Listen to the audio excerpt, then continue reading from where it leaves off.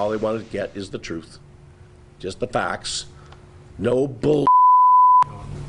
Tense words exchanged at a meeting to sort out what went wrong with an investigation into the death of a UNLV student.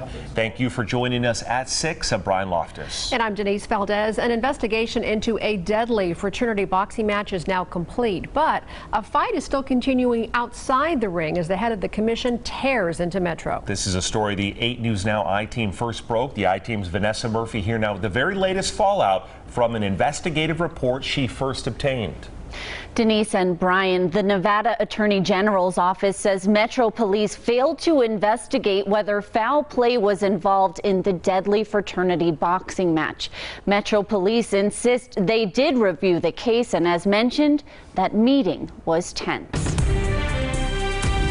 Are you going to come in and do the right thing? I'm, I'm asking you to answer binary questions, either you're yes or no. You represent Metro. You're here. We appreciate that very much. It doesn't seem like it. Nevada State Athletic Commission Chairman Stephen Cloobeck addressing Metro Deputy Chief James La Rochelle after the release of this report. The Nevada Attorney General's office investigated this fraternity boxing match in November. 20 year old Nathan Valencia, a UNLV student seen here in red headgear, collapsed after his match and died from head injuries. A key finding identified in the report a failure by Metro to look into whether foul play was involved. Did you do a homicide investigation? Sir, I'm trying to. Did you? I'm asking you a question. Wait, we did not do a homicide investigation. never- Deputy Chief La Rochelle saying that's after input from the Clark County District Attorney's Office.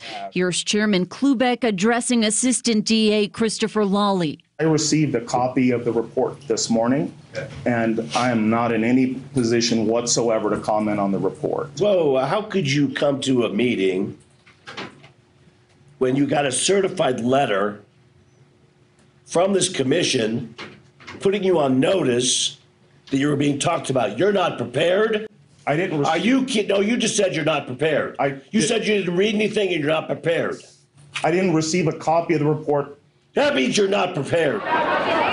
As first reported by the I-Team Monday, investigators listed numerous protocols which weren't followed at the unregulated event. Commissioner Anthony Marnell calls it an underground fight. This is a cluster beyond belief from one end to the other on organization, promotion, safety, inspection, drugs, alcohol in the ring. I mean, really, a referee drinking in the ring? The report also raises questions about Valencia's opponent, Emmanuel Ailman. Investigators say they were able to examine all gear used at the event except for his. Witnesses said his hands were wrapped long before the fight. This is one of his attorneys, Jordan Logan. If you have the gloves, just tender them. Don't no games. You want to play games?